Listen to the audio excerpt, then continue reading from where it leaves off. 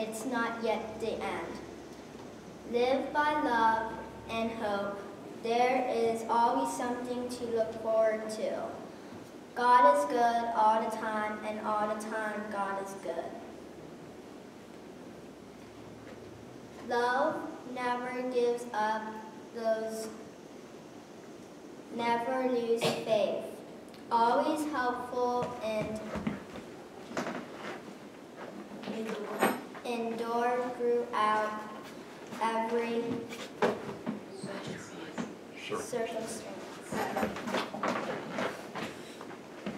Bless the Lord, all my soul, and all that is within me. Bless his holy name. I love God. Faith leads us beyond ourselves. It leads us directly to God. For God so loved the world that have gave his holy Son, so that everyone who believes in him may not perish, but may have eternal life. Indeed, God did not send the Son into the world to condemn the world, the world, but in order that the world might be saved through him, throughout him. I will fear, I will fear nothing, because nothing is greater than my God. Thank you for listening to my presentation about God's storybook.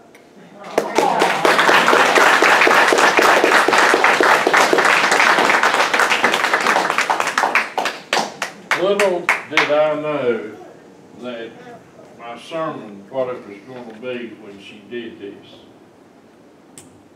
And, uh, I had no intent of her doing this. But you know what? I needed that. Didn't you all? Yes, thank you. Yeah. And are you back in school yet? Uh, I go today. Today, oh my goodness. That's bad. Well, it'd be good. You get to see some of your friends. Yeah. Yeah. It's not bad. And all, you all start this week, right? I start this week. This week. My How about you, cry. Catfish? You go to school? He's like, nope. You should have seen that face, man. Well, I want to tell you all something. Thank you for listening to little Miss Pastor Sydney Junior. And, uh, even though she is a girl, she can do pretty good song Yes. for a first grade, second grade. Well, thank you all, and who do we go see now?